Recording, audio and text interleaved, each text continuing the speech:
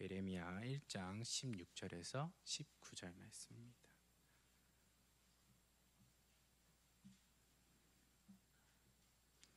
우리 함께 읽도록 봉독하시도록 하겠습니다.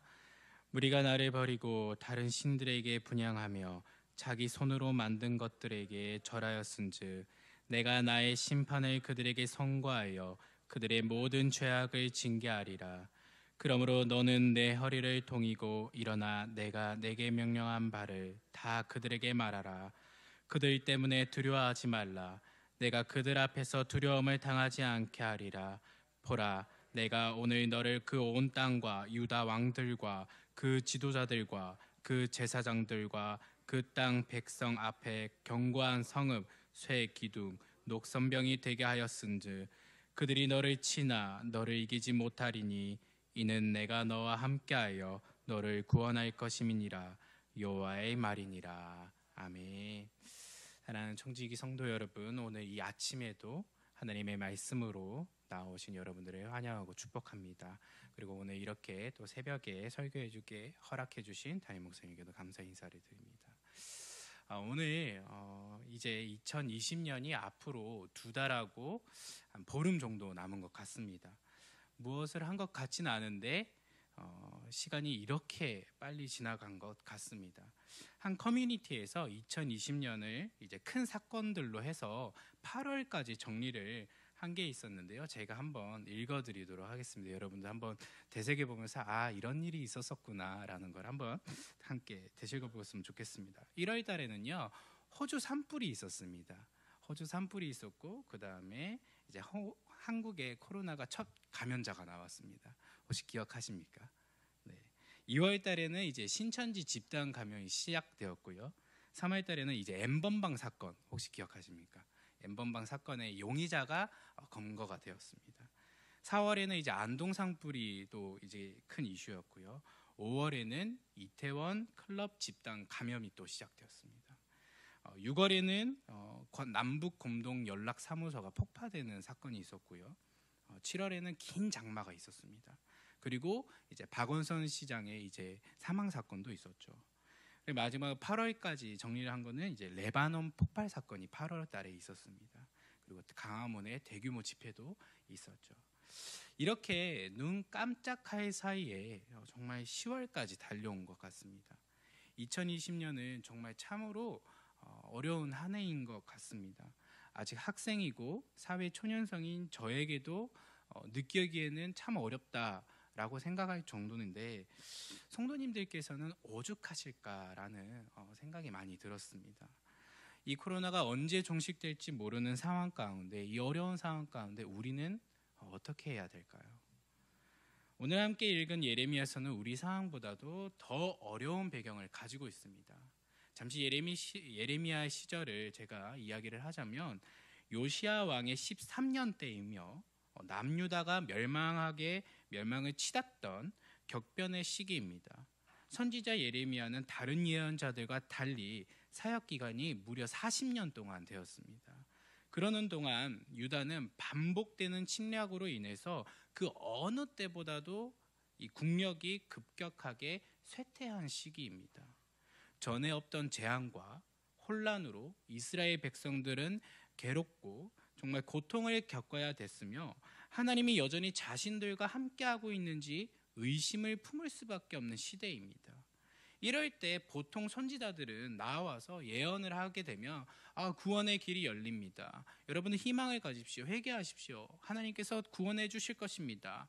라고 위로의 말을 어, 전해 주시 전해 주겠지만은 반대로 예레미야는 열린 결말이었습니다. 그것은 바로 멸망이었습니다. 그것도 국력의 세력 국력의 쇠락 때문이 아니라 순전히 유다의 죄악 때문에 너희들이 멸망할 거야라는 예언을 하고 있던 것이었습니다. 그나마 이스라엘을 지탱해주고 있던 그리고 자부하고 있던 다윗의 언약, 유다에 세우신 다윗의 왕조의 영원함을 보증한 그 언약과 하나님의 집인 성전, 유다와 예루살렘에 임하시는 하나님의 인재를 상징하는 것을 이제는 아니다. 이제는 끝났다. 부정을 하니 예레미야는 이스라엘 백성들에게 불편한 존재일 수밖에 없고 온갖 핍박과 저주를 받은 것은 어쩌면 당연한 모습인 것 같습니다. 예레미야 소명의 장면 예레미야의 소명을 소명의 장면을 다루는 1장에서는 하나님인 부르심 앞에 예레미야는 6, 6절에 슬프도소이다라고 표현하고 있습니다. 이것은 두려움과 막막함을 단적으로 드러내는 표현이라 볼 수 있습니다. 하나님이 그에게 맡기신 말씀은 평강이 아니라 재앙이었고 생명이 아니라 칼이었습니다.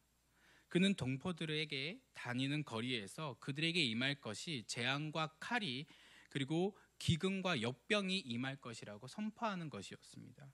예레미야는 하나님의 말씀을 들으러 온 회중들에게 그들의 죄악들을 지적하며 심판을 전해야 했습니다.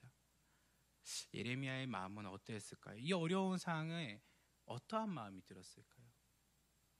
그러나 여러분 그러나 7절과 8절을 우리 함께 읽어 보시겠습니다. 예레미야서 1장 7절과 8절을 함께 읽어 보겠습니다.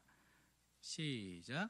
여호와께서 내게 이르시되 너는 아이라 말하지 말고 내가 너를 누구에게 보내든지 너는 가며 내가 내게 무엇을 명령하든지 너는 말할지니라 너는 그들 때문에 두려워하지 말라 내가 너와 함께하여 너를 구원하리라 나 여호와의 말이니라 하시고 아멘. 사랑하는 청주교회 성도 여러분, 앞에 서두에 말씀드렸듯이 시대적으로 정말 많은 어려움과 이 혼돈한 때입니다. 그러나 그러 나 우리 하나님은요 이 어려운 상황에서도 건져내 주실 것을 믿습니다. 사랑하는 여러분, 우리에게 다시 한번 되새길 것은 앞으로 우리에게 주어지는 소명입니다. 소명은요 사역자들만에게 주어진 것이 아닙니다. 여러분들에게 각자 여러분들에게 각자 맞는 소명을 분명히 하나님께서는 주셨다는 것을 기억하시길 바랍니다. 분명한 소명은요 우리로 하여금 외부로부터의 위협을 그리고 그 고난을 이겨낼 수 있도록 하고 있고요. 풍요와 배부름을 가져다 주는 내적 타락과 영적 능력의 상실을 극복해 나갈 수 있도록 이겨 나가게 힘을 더해 준다는 것입니다. 하나님께로부터 오는 소명을 붙잡고 나아가실 때 하나님께서는 두려워하지 말라. 내가 너와 함께 하여 구원하리라 하실 것입니다. 이로 인해 여러분들의 각각의 소명을 붙들고 나아가 한국 교회의 위기를 함께 대처해 나갈 것을 믿습니다. 이제 우리는 지금부터 깨어 있으셔야 합니다. 유다가 왜 멸망하셨는지 다 아실 것입니다. 이스라엘이 왜 멸망했는지 다 우리 성경 말씀에 나와 있습니다. 하나님께 주신 하나님께서 주신 언약을 스스로가 배신을 했으며 역 강대국들에게 의지하여 첫사랑을 잃고 음행하는 짓을 했습니다. 그래서 멸망하게 된 것입니다.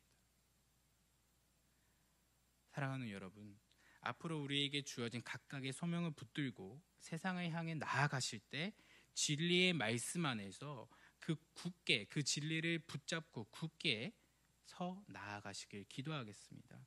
하나님은 저와 여러분들에게 진리의 증인으로 부르셨습니다. 간혹 사람들은 자신들의 주관과 기호가 세상의 진리인 양 착각하고 살아갈 때가 많이 있습니다. 그러나 우리는 하나님을 부정하고 왜곡하는 세상에서 오직 예수 그리스도, 오직 그 복음만이 영원히 영원한 진리임을 선포해야 합니다. 각각의 다양한 모습으로 계시는 여러분들께서는 앞으로 세상을 향해 나아가실 때 그리스도의 옷을 입고 두려워하지 마십시오. 하나님께서 일어나라고 두려워하지 말라고 그들 앞에 두려움을 당하지 않겠다고 하겠다고 견고한 성읍과 성쇠 기둥과 녹 성벽이 되어 주신다고 말씀하고 계시지 않습니까? 격변의 시대에 하나님의 말씀을 붙들고 한 걸음 한 걸음 나아가시는 귀한 시간 되시기를 기도하겠습니다. 이 시간 우리 함께 어, 함께 기도하면서 나아가셨으면 좋겠는데요.